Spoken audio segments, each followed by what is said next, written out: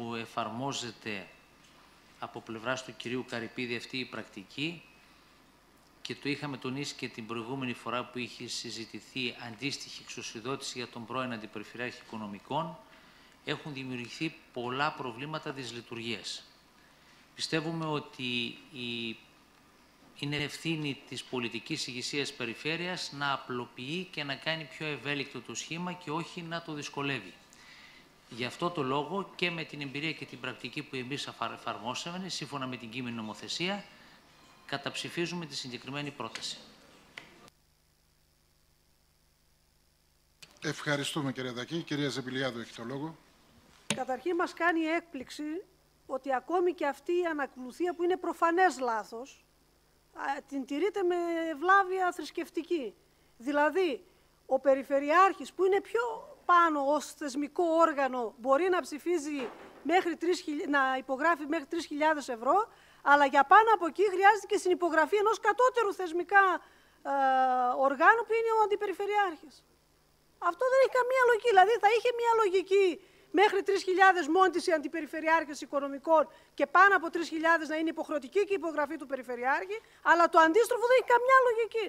Νομίζω από λάθος έγινε και επειδή ε, κανείς δεν σκέφτεται το, το προφανές, ε, το ακολουθείτε με θρησκευτική ευλάβεια. Δηλαδή, τι να πω τώρα. Απ' την άλλη μεριά, έχουμε πει και εμείς πάρα πολλές φορές ότι δεν καταλαβαίνουμε γιατί δεν γίνεται αυτή η αποκέντρωση, τουλάχιστον για τα ψηλολόγια, για τα 100, 200, 300, 400 στους χωρικούς αντιπεριφερειάρχες. Για να μην βάλω και τους θεματικούς, τους χωρικούς έστω.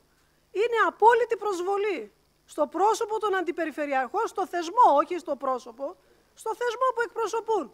Δεν καταλαβαίνουμε αυτή τη ρεμονή. Όντως υπάρχουν δυσλειτουργίες και από την άλλη η ανάγκη του να λειτουργήσει επιτελικά ο Περιφερειάρχης ε, ε, πραγματικά στην ουσία καταργείται γιατί υπογράφει και για την παραμικρή δαπάνη.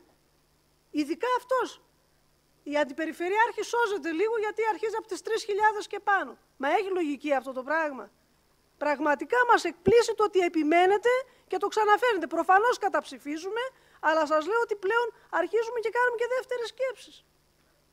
Δεν επιτρέπεται αυτή η αιμονή σε κάτι που είναι προφανώς λάθος. Ευχαριστούμε κύριε Ζεμπιλιάδου. Παρακαλώ κύριε Δακή. Πληρώσω κάτι θέλω. Το είχα πει και την άλλη φορά που είχε υπάρξει σχετική συζήτηση και εφόσον η πλειοψηφία θέλει να ψηφίσει μια αντίστοιχη εξουσιοδότηση ε, στην κυρία Αντιπεριφερειάρχη και στον κύριο Αναπληρωτή Διευθυντή, εκτιμώ ότι επειδή αυτά θα πάνε και στο φύλλο εφημερίδα της κυβερνήσεως, γινόμαστε περίγελοι δίνοντας εξουσιοδότηση στο Περιφερειακό Συμβούλιο προς τον κύριο Περιφερειάρχη για να υπογράφει τις επιταγές δεδομένου ότι είναι μια αρμοδιότητα την οποία εκ του νόμου την έχει ως διατάκτης. Επομένως, εμείς δεν έχουμε αρμοδιότητα ούτε να τον εξουσιοδοτήσουμε για κάτι που αυτονόητα εκ του νόμου το έχει ως διατάκτης, ούτε να του άρουμε την υποψηφιότητα, την ε, αρμοδιότητα. Τη μόνη δυνατότητα που υπάρχει είναι να εξουσιοδοτηθεί κάποιο άλλο πρόσωπο να συνυπογράφει ή να αντικαθιστά τον κύριο Περιφερειάρχη. Το είχα πει και την προηγούμενη φορά, το λέω για να προφυλάξουμε το κύριο του Περιφερειακού Συμβουλίου και του θεσμού. Είτε έτσι είτε αλλιώς, πάντως εμείς το καταψηφίζουμε. Ευχαριστώ κύριε Δαγέ. Ο κύριος Σαββόπουλος. Ε, και εγώ έχω αναφερθεί για το ίδιο θέμα και τέλος πάντων... Παρακαλώ κύριε Σαββόπουλε. Ε, να ανοίξουμε τότε τη λίστα. Ο κύριος Σαββόπουλος και κλείνει η λίστα. Παρακαλώ ναι. κύριε Σαββόπουλο.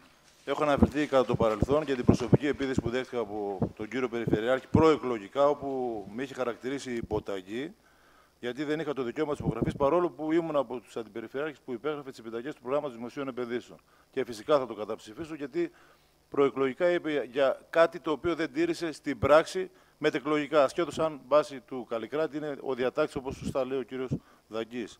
Εκείνο που θέλω να ρωτήσω είναι το εξής, γιατί το δικαίωμα της υπογραφής στον Αντιπεριφερειάρχη, αν το έδινε, θα έχει ένα μικρότερο λειτουργικό κόστος. Έχουμε διαβάσει κατά καιρούς από πέρσι το Σεπτέμβριο ότι υπάρχει ένα δικαίωμα ψηφιακής υπογραφής.